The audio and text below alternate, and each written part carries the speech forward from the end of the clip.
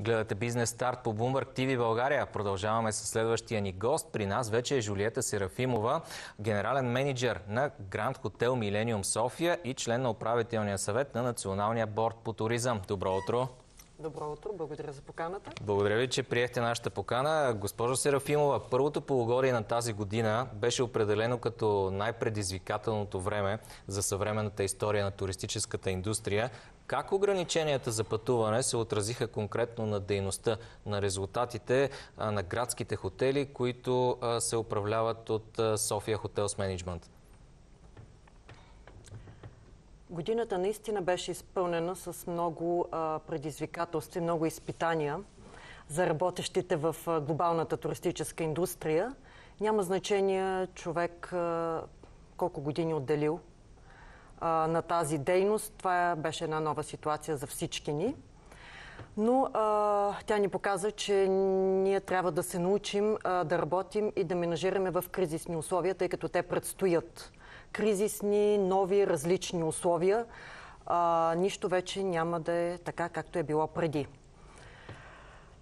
София Хотелс Менеджмент, за който споменахте, е фирма менеджерско дружество на собствениците и инвеститорите в нашите хотели. В този смисъл ние сме натоварени с менажиране на нашите хотели, нашата група.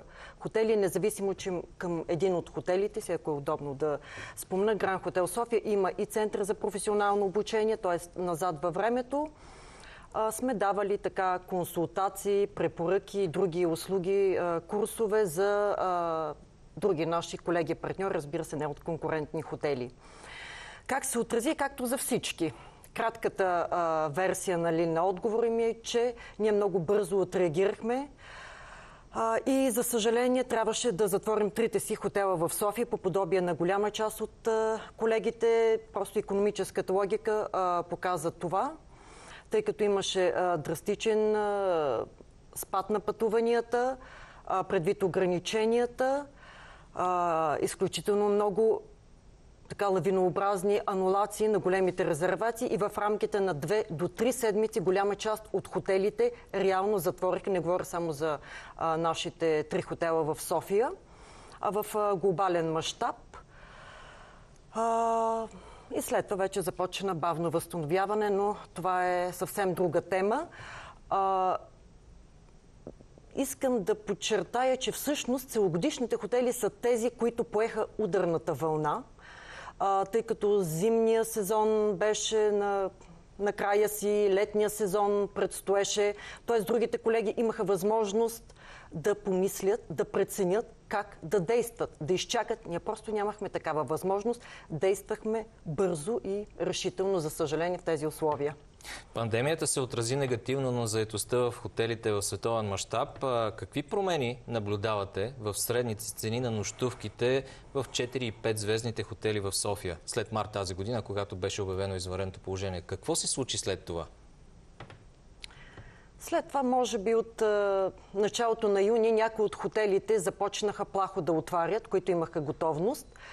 А, специално от нашата група хотели от 1 юли а, откри, а, започна отново да работи Гран Хотел София и вече от близо месеци Гран Хотел Милениум София.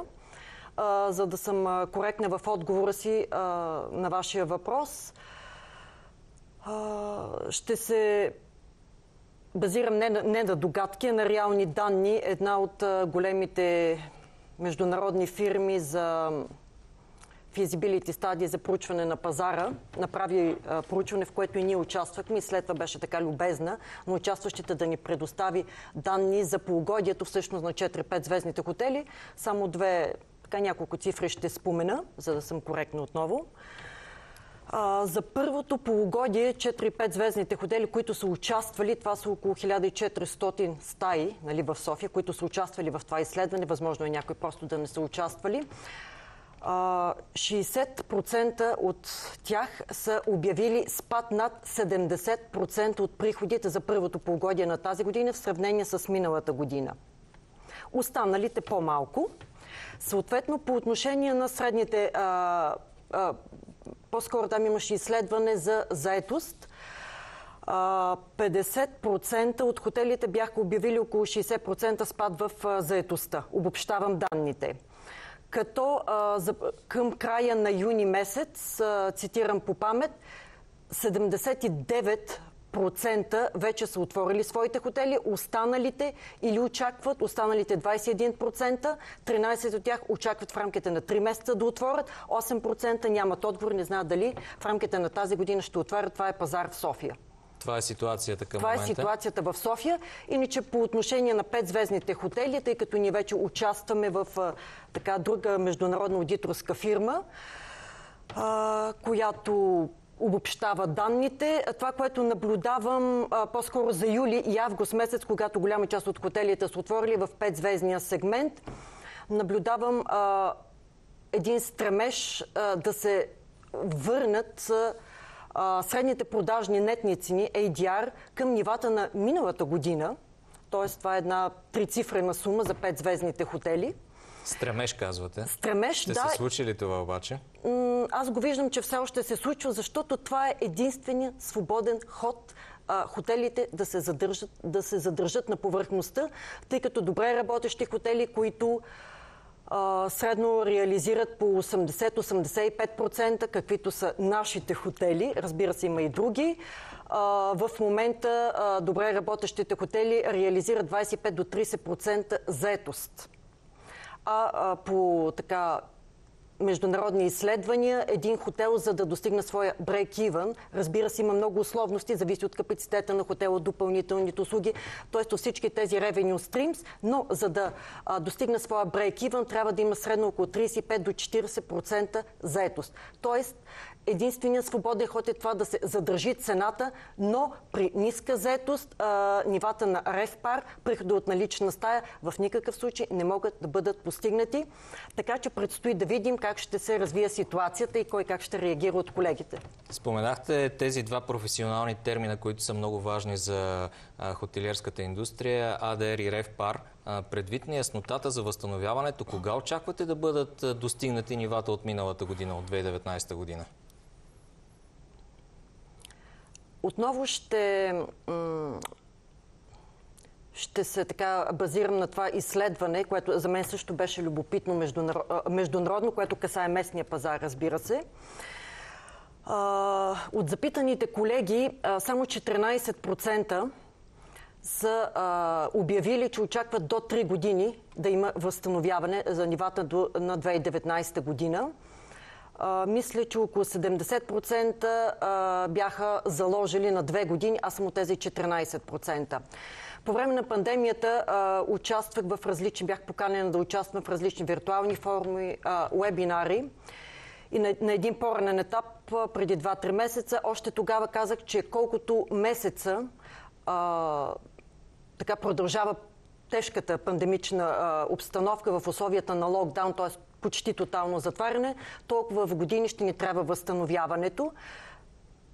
Според мен около 3 години. Няма да е по-малко, но а, начина по който се възстановява на индустрията ще е много различни. Ако говорим за нива, които доближават приходите от 2019, те ще са различни източници на приходите.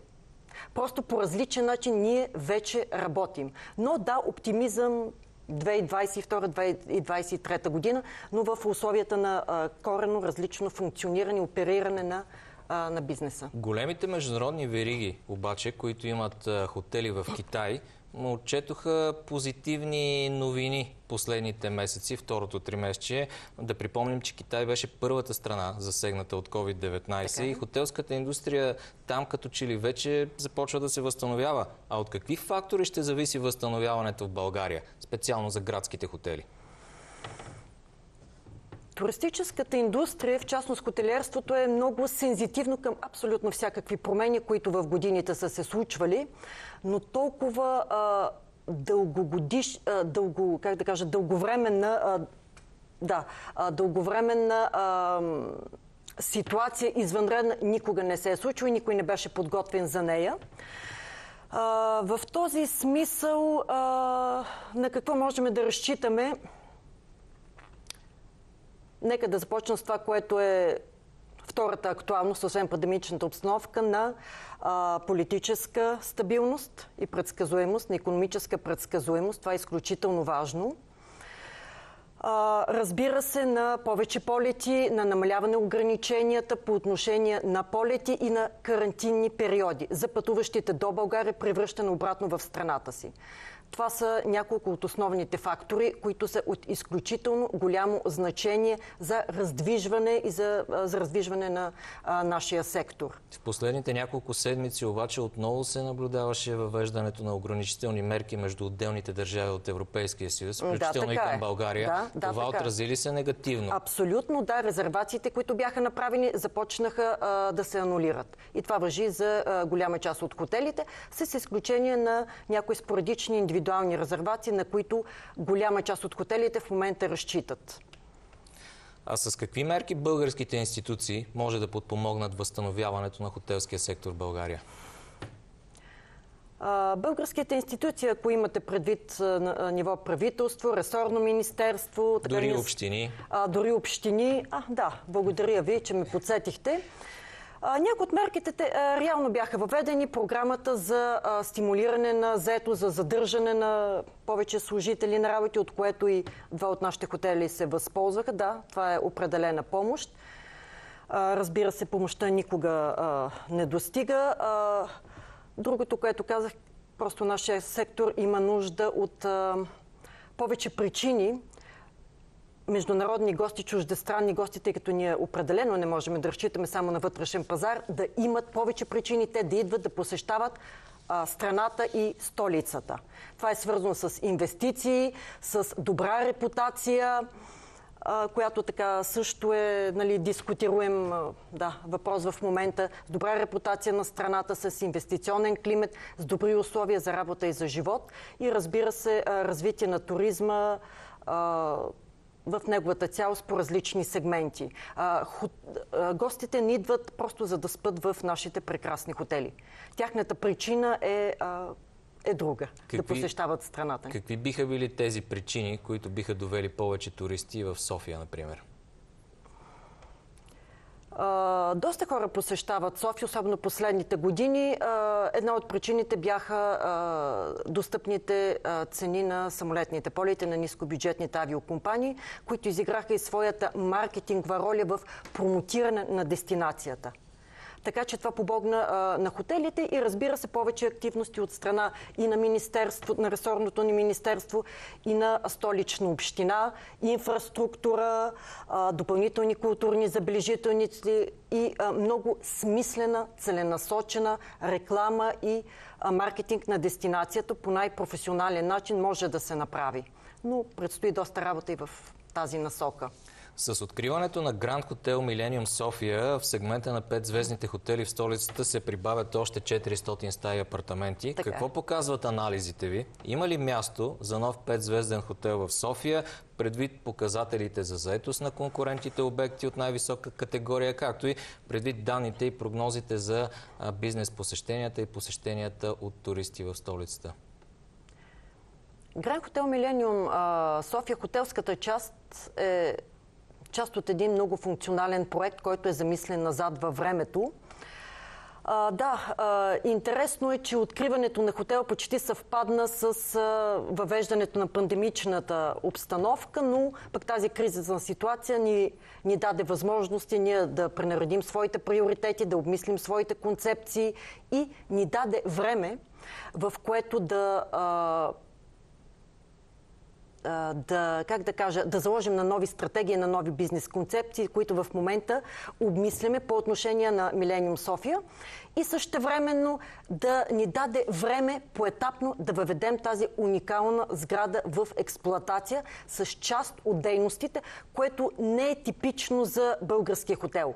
Като замисъл хотел е уникален. Уникален е като проект, това го казвам като професионалист, не само като човек, който от 17 години работи за структурата, но уникалността а, е заложена, устойчивостта на развитие на съществуване на този проект е заложена в уникалността му. Не само за България, за София, а и за региона. Да, момента може би не е най-подходящ, но този проект вече заяви своето присъствие.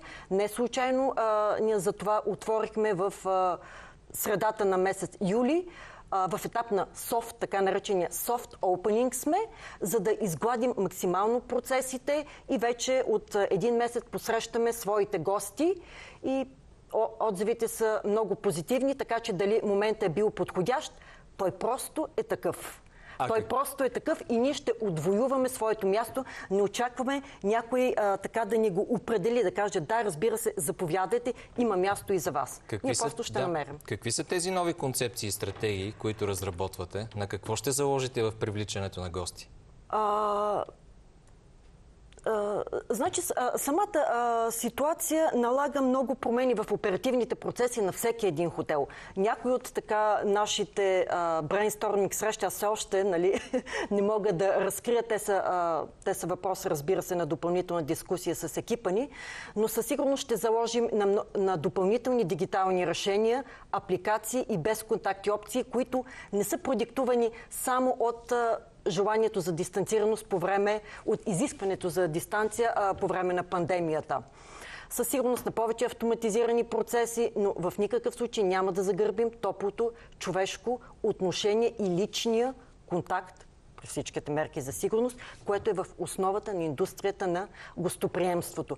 Но дългосрочно бизнеса се променя. Ще има услуги, които просто ще отпаднат, други, които ще се а, появят. Затова всеки един хотелиер трябва много внимателно да следи кои са му потоците на приходи, източниците на приходи. А в крайна сметка, каквото и ние да преценяваме, а, от позицията, не само на заети в индустрията, и от позицията на клиенти, потенциални, поведението на потребителите, тяхната реакция ще покажат дали ние сме на верен път. И затова трябва много бързо да реагираме. Кои хотелски услуги ще отпаднат следващите години в резултат на всичко това, което се случва, госпожа Серафимова?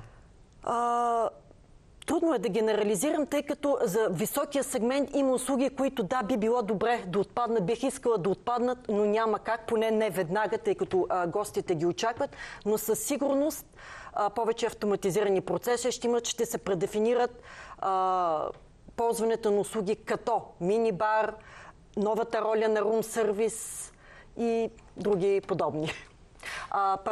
Да, извинете ме още да добавя хибридната форма на участие в конферентни събития. Но е много важно и тук е предизвикателството на хотелиерите, които ние реално продаваме услуга на, място. на място. Ние можем да привлечем, да доведем а, гостите си в, а, чрез а, ползването на дигитални услуги, след престоя му също по дигитален начин, дистанционен, да да изпратим нали, информация, благодарности, писма, фактури, но той трябва да реализира услугата на място. В този смисъл ние продаваме физически активи на място. Да поговорим и за конгресния туризъм. В новия хотел има многофункционален конгресен център с 14 зали и ясно е, че ще разчитате на синергията между а, хотел и конгресен център, но генерално какво не достига на София да се позиционира като международен център за конгресен туризъм? Това е една тема, която от години се дискутира. А, бих искала да подчертая, че България има своето а, българско конгресно бюро, което а, е изключително активно и полага неимоверни усилия в тези доста тежки условия. Два от хотелите ни, пет звездници, са членове на това бюро и абсолютно приветстваме всички инициативи. А, какво не достига? Не достига, може би, не може би, бюрото има нужда от, от държавна подкрепа. Както всяко едно нещо, което прохожда, може би форма на публично-частно партньорство, независимо от това, че Българското конгресно бюро е и член на ИКА, има нужда от държавна подкрепа не само в помощта финанси и частични субсидиране, а и в помощта на презентиране на дестинацията, на лобиране, тъй като конгресните събития, големите, за големите конгресни събития има нужда от хора визионери, хора лидери. А, ние само като професионалисти, нашите усилия не са достатъчни. Те се договарят на високо държавно ниво. В България от години действа намалена ДДС ставка за хотелските нощувки. Да. Неодавна парламентът намали на 9% данъка и за храната в ресторантите, включително ресторантите в хотелските обекти. В последствие беше намален на данъка и за бирата и виното, които се предлагат в заведенията. Какъв е коментарът ви за тези мерки и техният ефект? Всяка една стъпка в тази посока е, разбира се, добре дошла. А, те няма да се отразят на а, крайните цени, крайните продажни цени, каквито догадки има. Да, ще има дефект, но то ще е много малък. Разбира се, приветстваме. А, все пак това е намаляване на данъчната тежест. А, но отново казвам, за да има по-позитивен ефект, трябват повече приходи, повече обороти, по-голяма консумация, реализирането на повече услуги. Това е важно. Хотелите искат да работят, а не да бъдат субсидирани и подпомагани единствено по финансов начин.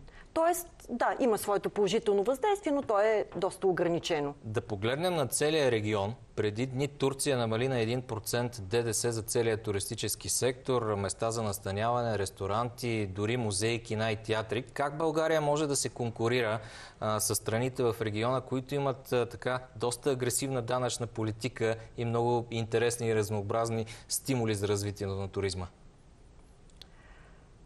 Наистина, съседните ни държави са доста активни в посока агресивни не само по отношение на данъчна политика, а по отношение стратегическо развитие, по отношение разпознаваемост, репутация като туристически държави. България определено изостава. В годините, когато съм представлявал и България, аз съм и член на международно жури, в чужбина и при, при многобройните си обучения – когато обяснявам откъде съм, налагало ми се да оби... а, нали, просто да обяснявам, за да е за да е по, а, по-бързо, да, за да ме разберат колеги, че България в крайна сметка или е съсед с Гърция, или е съсед с Турция, което е безкрайно жалко. А, трудно ще е на България. И аз се притеснявам, че покрай тази а, ситуация България дългосрочно рискува да изгуби своите конкурентни предимства. Кои, кои точно имате ами, предвид? конкурентни предимства изобщо на туристическа дестинация. Тук а, не искам да коментирам а, как сме позиционирани като масова, по-ефтина туристическа дестинация – трудно ще ни бъде. Трудно ще ни бъде, налагат се бързи мерки, но заради това всек, всяк, всеки човек, всеки билото ресорен министр в случая, трябва да има дълга писта. Дълга писта, за да може да вземе необходимите мерки. И на финала, госпожо Серафимова, какви трайни промени в хотелската индустрия в глобален мащаб ще настъпят според вас след в резултат на пандемията от COVID-19?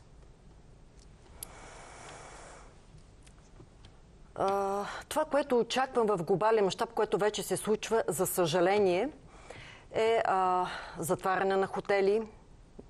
А, това е част от тенденцията. Ще има изкупуване на активи, ще има а, хотели, а, които ще сменят своето предназначение, ще има а, хора, които ще загубят своята работа, също времено ще има нови професии. Те просто ще трябва да сменят своята професия със сигурност повече безконтактни опции, но това, което очакваме също е една не изключително позитивна тенденция. Смятам, че в краткосрочен аспект туризма няма да е толкова демократичен, колкото беше. Той няма да е толкова достъпен.